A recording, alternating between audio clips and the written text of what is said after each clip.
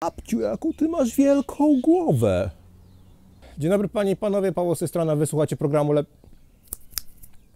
Złe intro, to nie to intro, to nie to intro, nie nagrałem lepszego niż wczoraj, nagram kiedyś, jak będzie czas. Ale wy oglądacie, wy oglądacie mój kanał, a dzisiaj sobie porozmawiamy o strojach na triat do triatlonu, z tego względu, że robiłem porządki i zgubiłem jeden. Zgubiłem ostatni strój, w którym startowałem w e, czerwcu, e, gdzieś Gdzieś go zgubiłem. Nawet nie wiem gdzie. No ale porozmawiamy sobie o tym, jak dobrać strój do triatlonu i, i zacznijmy może od początku. Czym się różni strój triatlonowy od stroju rowerowego? Bo o to te- też często pytacie, a zaraz sobie powiemy o tym, na co zwracać uwagę, gdy kupujemy strój triatlonowy i, i, i jak go dobrać. Bo to jest drogi, duży wydatek, nie oszukujmy się. Dobry strój pod triatlon kosztuje ponad 200 dolarów przeważnie. Um, jakiś tam strój tria- triatlonowy będzie kosztował kilka stów, ale y, w złotówkach, ale niestety one są trochę, trochę drogie, więc nic, nic nie poradzimy. Dobra, tu mamy ubranko rowerowe. Normalne ubranko rowerowe, normalne gacie, i, i, i, i koszulka. To jest ubranko rowerowe, które jest przeznaczone na, do startowania w zawodach, czyli nie jakoś tam treningowe. Z tego względu, że jest dosyć obcisłe, a jest e, bardzo lekki materiał, jak widzicie, widać wszystko, co jest za mną, to, to jest letni strój. E, Na co zwrócić uwagę, w tych strojach jest nowa moda przez ostatnie lata, żeby końcówki rękawów były dosyć takie elastyczne, obcisłe, z grubej taśmy tutaj. One się dosyć dobrze trzymają wtedy na ręce. Kieszenie, no standardowa, standardowa koszulka, prawda? Problem pojawia się, w...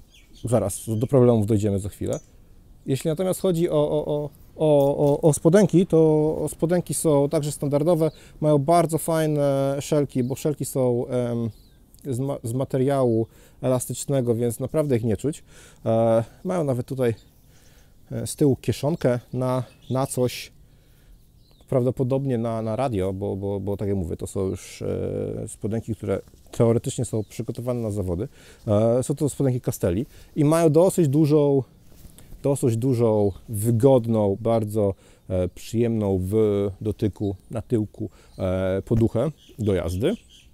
Ona ma 15 mm nawet w e, niektórych miejscach, więc e, e, naprawdę jest, jest, jest dosyć wygodna.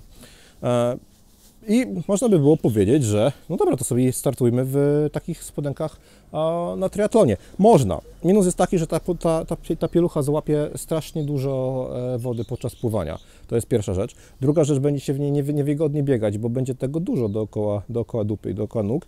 A trzecia rzecz, jeżeli startujemy w dłuższych, dłuższych dystansach i, i chcielibyśmy wyjść do e, toalety, bo, bo czas leci, to trzeba zdjąć top, trzeba zdjąć szelki, trzeba zdjąć spodnie, czyli tak naprawdę trzeba się rozebrać do naga, żeby, e, żeby się załatwić, więc e, to jest ten minus. Więc to są rzeczy na rower.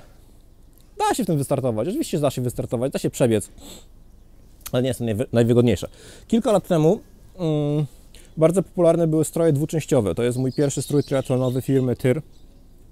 Stroje dwuczęściowe z krótkim, e, znaczy bez, bez rękawka.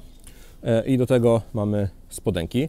E, Od razu zaznaczymy, że piel, pielucha, nawet nie pielucha, wszywka w, w takim, takich spodenkach jest dużo mniejsza, ona jest naprawdę malutka e, i nie przeszkadza w bieganiu zupełnie. Oczywiście jest niewygodnie, mniej, wygodnie na, w jeździe, ale na zawodach można przeżyć. No, ja tych spodenek użyłem może z 5 razy łącznie, bo kilka treningów i może więcej kilka treningów, kilka, i kilka zawodów, to wszystko.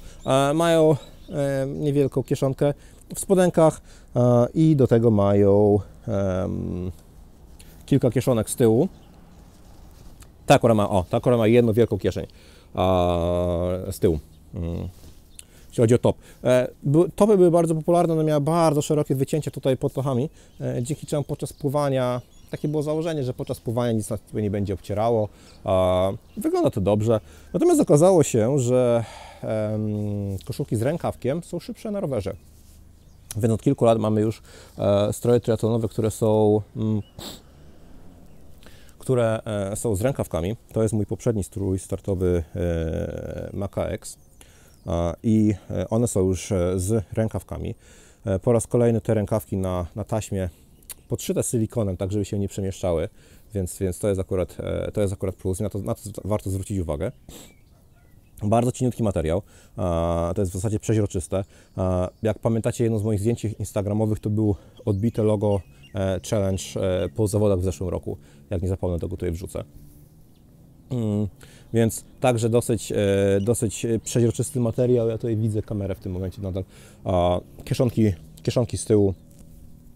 Materiał dosyć lekki, materiał mm, będzie widać jak on wygląda. Taki dosyć grubo ziernisty i przeźroczysty. Kilka e, różnych e, dodatków typu większa wentylacja e, pod pachami, strój dosyć, dosyć wygodny, trzeba przyznać. Mm. Jeden minus był taki, że wszywka w tym stroju akurat była bardzo podstawowa. To jest kawałek, kawałek gąbki, bez żadnych udziwnień. To jest po prostu kawałek gąbki to wszystko. Natomiast też było dobrze zrobione na nogach, że jest, mamy silikon i ma, to się wszystko ładnie trzyma. Mm. To był strój jednoczęściowy, natomiast e, plus tego stroju był taki, że z przodu, nawet jak go zapięliśmy, to miał otwarcie, więc można było przynajmniej częściowo się załatwić bez, bez, bez otwierania tego stroju całkowicie. E, to był jeszcze ten czas, kiedy, e, kiedy długie rękawki były zabronione w pływaniu bez pianki, więc ten strój trzeba było po prostu było zdjąć i sobie go zawiązać dookoła. Mm. I przechodzimy teraz do stroju ostatniego, czyli najnowszego nabytku. To jest strój to jest strój Maca X e, z tego roku, więc a, tak go pokażę. Jakiś taki większy jest od, tych, od całej reszty. Ciekawe dlaczego. I ten strój jest zupełnie inny. Jest wykonany w innej technologii. Przede wszystkim um, materiał tego stroju bardziej przypomina, e, bardziej przypomina e, bardziej przypomina e, ubranko do pływania. Tutaj dla, dla porównania mam tylko, to jest Roka e, Viper, to jest e, ubranko do pływania i rzeczywiście ono jest bardzo podobne, jeśli chodzi o, o, o materiał w odczuciu do tego materiału nowego triatlonowego. Ten materiał wykorzysty był wykorzystywany przez wszystkich zawodników e, Super League, to jest ta sama firma. To jest to naprawdę to samo ubranie, to, ten sam strój, tylko e, ma inne kolorki. Um, co możemy o tym stroju powiedzieć? Znów odrobina silikonu, to jest, to jest naprawdę już e, warstwa silikonu tutaj e, przez cały rękaw, tak żeby to się trzymało e, ręki. silikon, silikonowa wstawka na dole, żeby się to trzymało nóg.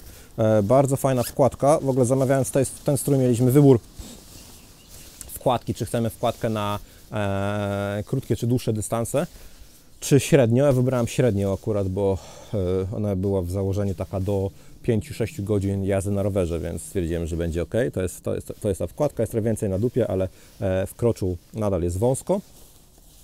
Mm.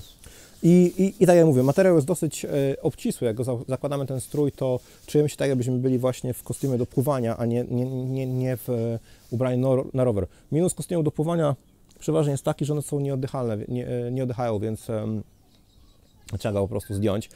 Poza tym, jak sobie zauważymy, to ten strój w zasadzie nie, nie, nie wymaga założenia kolejnej warstwy do pływania w otwartych wodach. Jak sobie zobaczymy, to jest z tyłu na kieszonki to odkryłem dopiero, teraz i w ogóle, w ogóle e, śmiać mnie z tego chciało. Jak zobaczymy sobie na kieszonki, to kieszonki są ukryte pod,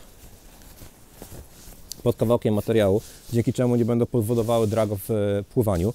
Natomiast jak sobie zobaczymy stary strój, ten jeszcze przedpotopowy, to ta kieszonka to jest, to jest hamulec, jeśli chodzi o pływanie. Do tego na to trzeba było założyć kolejną warstwę, na przykład roka.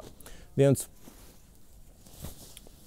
Reasumując, na co zwracać uwagę przy kupnie um, stroju? Po pierwsze, czy planujemy się przebierać w, e, w coś do biegania, e, bo to nam będzie troszeczkę um, uwarunkowywało, czy w ogóle potrzebujemy strój triatlonowy, czy nie. Bo jeżeli pływamy w piance, jeżeli e, mamy zamiar się przebrać w jakąś koszulkę i spodenki do, do biegania, to możemy startować w normalnym e, stroju rowerowym. Nie ma z tym problemu. Stracimy chwileczkę na e, strefie zmian ale nie ma to większego znaczenia. E, Jeżeli nie, jeżeli planujemy e, całe zawody wykonywać w jednym stroju, to sobie musimy odpowiedzieć na pytanie, jak długo te zawody będziemy, e, w jakim czasie te zawody będziemy robić. Jeżeli to są połówki, e, dystanse olimpijskie, ewentualnie szybkie Ironmany, to strój jednoczęściowy będzie w porządku.